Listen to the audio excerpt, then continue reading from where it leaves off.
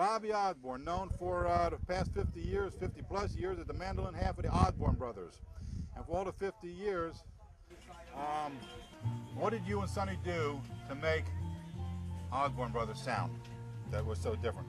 Well, we uh, we changed our harmony. Uh, uh, we put the lead on top, had the high lead on, on top of the, and the other two parts under that. And um, uh, Dusty Owens, the gentleman was at Wheeling, West Virginia, wrote a song called Once More, and we liked it real well. And we asked him, could we record it, record the song, and he and he said, yeah. So. Um, um, we got the lyrics to it and learned it. And on the way home back to, uh, we lived in Dayton, Ohio then. On the way back, my son and me and Red Allen, we just got to messing with that song, and uh, we just we got to singing the, putting the high part on top, and uh, we sang that song 200 miles. You know? Oh, boy. and uh, we it, it worked out fine, and still it's what I do today. Well, let's talk about what you're doing today. You brought that up. What's doing with the Rocky Top Express? Your band. Well, I joined uh, when my brother retired. Yes. Uh, he first of all, in case anyone don't know, but his, on his left shoulder he had rot- rotator uh, cuff surgery, Right. and uh, about a year ago, I guess he had a stroke in his right side. So it affected his uh, his picking hand, and uh, the ro- rotator cuff surgery affected this. So he he sang with me for a little bit, and he he told me he said it's it's just not right to be standing here trying to sing and and not not play it. So he just uh, he was, he just went ahead and retired, and, and I I couldn't see me quitting, so I, I kept going, and he's happy with what he's doing. I see him once in a while. Good. He's happy with what he's doing, and I'm happy with what I'm doing. That's with the main thing is happy.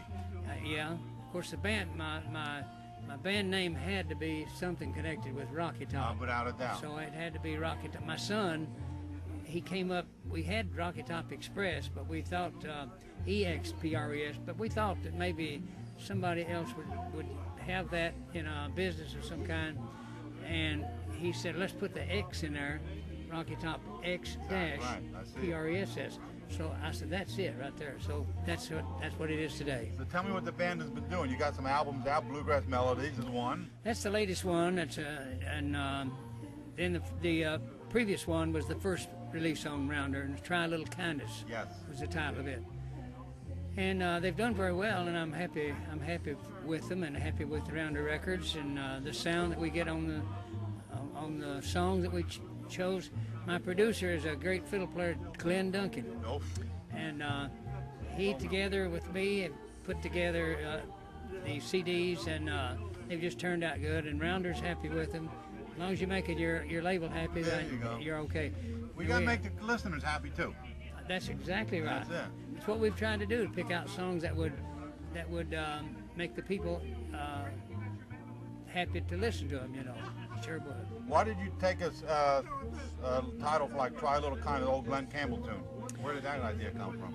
I years ago when I heard Glen sing it, I just I always wanted to record it. My brother and me never got around to it, and uh, I thought, well, that was one of the first ones I picked out to to record, and then listened to it for the other titles that we had, uh, the other title songs. Uh, Try a little kindness. It just fit the occasion, so we used it for the time. How does "Try a Little Kindness" differ from Bluegrass Melodies? Bluegrass Melodies is a slow ballad, real slow ballad. Uh, uh, Sonny me recorded it years ago on uh, Decca Records and later became MCA, and it was only released on a 45 RPM. And we always got requests for it.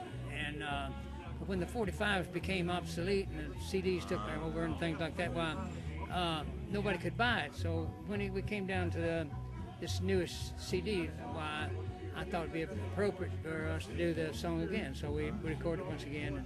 Bluegrass Melodies. Now go back to "Try um, Try a Little Kindness." You have some Stanley Brothers on there. You got some uh, Hazel Dickens on there. You got a Kris Kristofferson song on there. Right. Do you have any of those artists on Bluegrass Melodies? Any? No, no, just just my me and my band. Wow. Yeah. How does your stage show change from when you were with Bobby to the Rocky Top Express? Uh, it's about the same, other than I try to do some of the songs that I've recorded for Rounder Right, Records. sure. And I'm, I'm, I'm, I'll never be able to get away from the Osborne Brothers sound because every time I open my mouth, somebody says that's Osborne Brothers. Yeah, you got it. But I, I'm not trying to get away from that. But I, I do some of the uh, standards like Kentucky and some of those, and Ruby and Rocky Top that he and I did. But mainly, I'm trying to get me a little bit of a sound of my own, and it's working out pretty good. Are you able to stretch out a little bit more with your elbows and the sound now, of course, to, Right. yeah, without Sonny yeah, there? Yeah. Looking back over the 50 years, you guys had the harmony, you had the music, you had the lyric, you had the instrumentation over all them years that Sure. you said earlier. Right. I see. That made the difference because you had to differentiate yourself between Stanley's and Monroe and and um, Jim and Jesse and all those boys. We felt that we needed to do that because uh, Monroe he had he had his style. Each each one of those groups had their own style, and uh, they invented that, and Yeah. we had to invent ours. We we we thought we needed to do that. Too. We, I mean, when Monroe and Flatt and Scruggs, when they got finished, and the Stanley Brothers, when they got finished with a song that they had written and recorded, they was no. And today I still believe that there ain't no use of anybody else trying to No. overcome that. No. So the ones I recorded for Stanley Brothers, they were some of my favorite songs, but I did a I did a different arrangement with them, so it made them a, a little bit of a new song to to Let's, let's talk about something that's happening right now. It's September 07. Bobby uh, joined the Kentucky School of Bluegrass and Traditional Music faculty on his hometown of Hyden. Talk to me about that.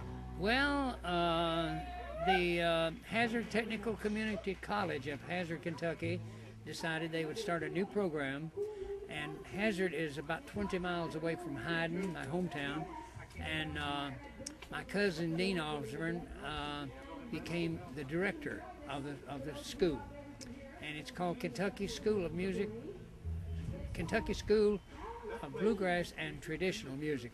so, There you go. and um, they're giving mandolin lessons, dobro, guitar, fiddle, banjo, and uh, so he asked me would I be interested in teaching people to play the mandolin. I said I don't think I can. I can teach myself, let alone. But I decided to try give that a try. So, but they wanted the school in my. It wanted to be in my hometown, being I was going to be a teacher there. So it's worked out real good, and I'm really happy. It's on the it's on the internet. Kentucky School of Bluegrass and Traditional Music. Were you guys, you and Sonny, were you considered first generation bluegrass? Um, yeah, we Yeah. would be in that category. In that category, We- I I mean, uh, you got Monroe and you got Flatt and Scruggs, Stanley Yeah. Brothers, Don Yeah. Reno, Red Smiley, and uh, you got us and Jim and Jesse. Yes. So I, I, after it leaves, after it leaves there, why it became it, become uh, Newgrass. Newgrass. Yeah. So I think that that would be uh, correct to say that. What's what's left for Bobby Osborne, who's been doing it since how many years? 19 and 50. Well, This- I started in 1948 there you go. professionally. What's left for you to do? Uh, continue on? Yeah. Oh, I'm not going to quit. As long as I can Rocky Top sing. Express, man. There you go. As long as. I can sing, I'm going to I'm going to keep going. What advice do you have for those young whippersnappers that are starting out today into the world of bluegrass? Well, just keep on picking.